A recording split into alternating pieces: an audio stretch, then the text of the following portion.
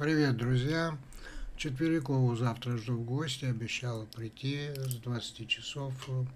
Надеюсь, все получится. Надеюсь, очень. Вот. А теперь я вам хочу сказать, как я рад, что мы вчера так провели бесплатный ликбез для родителей и детей, чтобы не прилипали к своим смартфонам, чтобы развивались. Потому что сколько сейчас информации сыпется и на детей, и на родителей. И родители не всегда успевают э, отвечать на вопросы детей. А у детей всегда вопросы есть.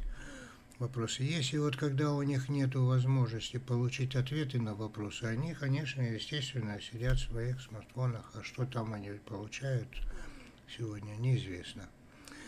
Да, это беспокоит э, взрослых, конечно. Я вчера показал, а кто не посмотрел, обязательно посмотрите этот ликбез.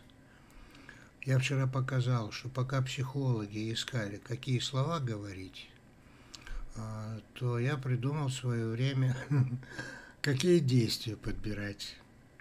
Какие действия подбирать, потому что это проще. Когда человек находится в жутком стрессе, ему трудно слышать психологов, советов, трудно воспринимать это все. У него стресс.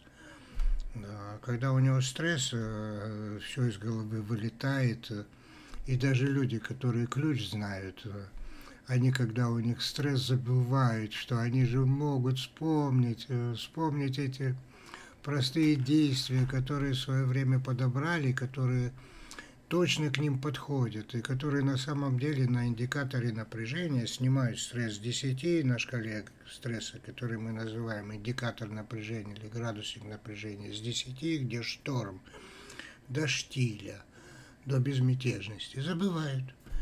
Потому что все при стрессе из головы вылетает, потому что инстинкт самосохранения, инстинкт выживания выбивает все знания, опыт и понимание – и человек находится в таком состоянии и начинает себя накручивать, начинает себя накручивать.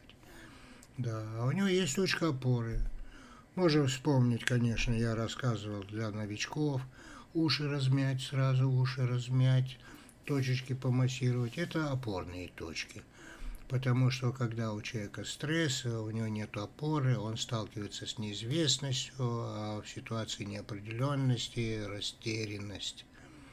Да, и растерянность, и память вышибает на все хорошее. Но поэтому точки, уши, носик, а, это точки опоры, которые помогают сразу наладить кровоток мозга, снять блоки шеи, блоки сознания, выйти на нормальное состояние и опять успокоиться и посмотреть на все, что тебя волновало, и думаешь, да что я так из-за этого вдруг встревожился? Потому что обрел баланс теперь. Когда обрел баланс, все сразу вспоминается, поэтому я всегда рассказывал на своих ликбезах и вебинарах о синусоиде. Человек же живое существо. И поэтому бывают э, и плохие состояния, естественно. Не доспал, там стрессы перенес, переутомился, ну, спазмы сосудов могут возникать, а нам надо успокоиться. Поэтому надо, когда вот на этой синусоиде минус какой-то, вспомнить сразу, вы это умеете, и сделать это. А там приемы такие. Я же, когда вот психологи думали о том, как подбирать слова, я придумал, как подбирать действия, синхронные текущему состоянию в момент их применения. И вот на ликбезе прошлом я это рассказывал. Да, посмотрите, это очень важно. Но я в двух словах сейчас скажу, чтобы вы поняли, о чем речь, и более заинтересованно посмотрели, потому что там так важно, и делитесь этим в своих группах, со своими знакомыми, с детьми со своими. Я там говорил, вот в двух словах скажу, элементы ключ 2. Что это такое? Это когда ты из миллионов различных действий различных повторяемых движений, будь то плавательные движения, или лыжник, или шалтай-болтай, или волну, когда мы показывали в прошлые разы, когда просто сидишь, качаешься вот так и переживаешь, и переживаешь, выпускаешь переживания, не стараешься расслабляться, не стараешься думать только о хорошем, потому что в этот момент ты не можешь думать о хорошем, думай о чем думается, ну, на волне автоколебаний, или на волне вот этих повторяемых движений, или скачешь на коне, или гребешь на лодке. вот перебираешь эти движения по критерию. Ваше движение – это то, которое хочется продолжать. Это значит, что напряжение падает. Вот, например, на шкале стресса, на индикаторе напряжения, напряжение падает, и вы выходите из шторма безмятежность, нулевое состояние.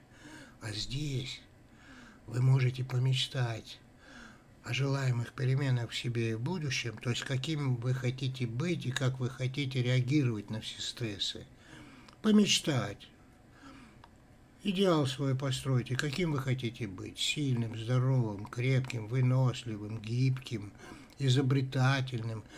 Что как только наступит какой-то стресс, вы мгновенно вспомните. Вспомните, чем больше стресса, тем больше сил. Стресс – это ваш помощник. Научись использовать стресс как стресс-трамплин для решения вопросов, которые тебе казались нерешаемыми.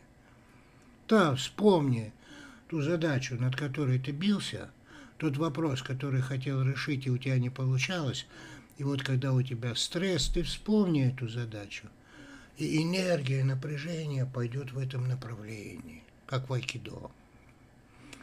И ты потом э, легко решишь эту задачу, а раньше не мог.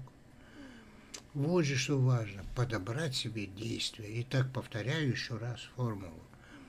Из миллиона различных повторяемых движений, будь то крутить хлопок, обруч, будь то плавать на лодке, будь то грести, будь то там шалтай-болтай или хлест – ты по полминутки, перебирая эти все движения, как примеряешь ботинки в магазине, по размеру себе находишь. То есть те повторяемые движения, которые ты хочешь продолжать, а те, которые не хочешь продолжать, выкидывай. И вот когда ты перебираешь движения по принципу подбирай то, что подходит, а то, что не подходит, отбрасываешь, сам процесс этого перебора развивает творческое, изобретательское мышление. И ты потом все другие вопросы решаешь гораздо лучше. Вот такие, друзья. Посмотрите, посмотрите там этот вчерашний ликбез.